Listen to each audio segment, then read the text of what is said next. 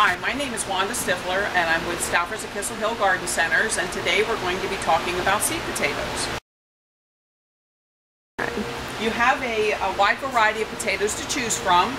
The new one out is the uh, blue type, which are blue inside when they grow. And um, also the red Norlands and some bananas. One of your favorites though is the Yukon Golds. They are a, uh, a little bit yellow in the inside and very easy to use in just about all your recipes.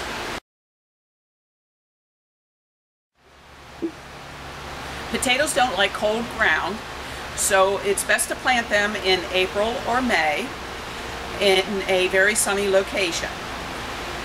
The potatoes do come about golf ball size and they do have eyes on them and when you cut them you all you need is one eye per section of potato. Set them aside on a paper towel in a cool dry place so they will uh, for about one day so they scab over and then you may plant them. If you do get them and the um, sprouts are fairly long on them, don't worry about that. Just go right ahead and plant them because that is part of the root that you'll be that it will be developing in the in the ground then.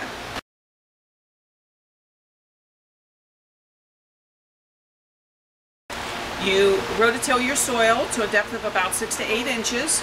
Add in a little bit of peat moss. They do like it a little acidic, so I would use a fertilizer 5-10-10. After you have uh, prepared your soil, then make sure that you do buy certified seed potatoes. They're already treated with a fungicide and they're ready to be planted. You plant them in the soil about five inches.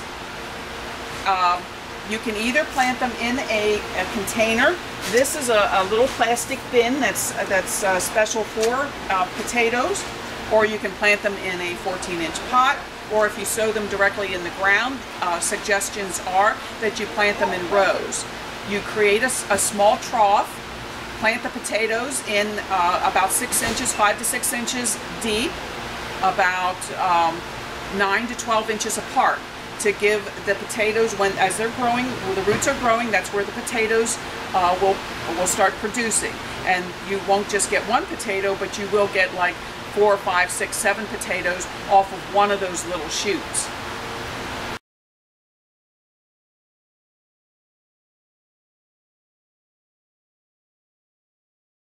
As they are growing uh, you'll see that um, they they do uh, are nice and green and um, will get nice and bushy for you. One of the problems that uh, they do get are, of course, potato bugs.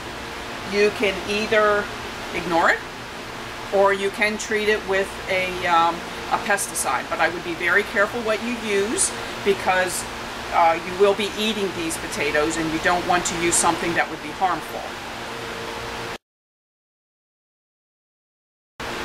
When you're ready to um, harvest them, you can try and harvest them early in the season, like in July or August, and that's when you get your little new potatoes. They're just, then they would be um, about the size of a baseball, and if you want them to uh, store for later on, you can wait until real late in the season when they start, when the leaves start to yellow, then you take a uh, fork and dig them up, and you'll see that you'll have some nice big potatoes. Set them aside, take the soil off of them, set them aside uh, in a cool dry place to, to let them dry off and then you may store them in a bin or in um, a mesh bag, something like that. Uh, so certain potatoes will store longer than other potatoes, so if you have any questions on storage or what type of potato is best to use, please feel free to ask.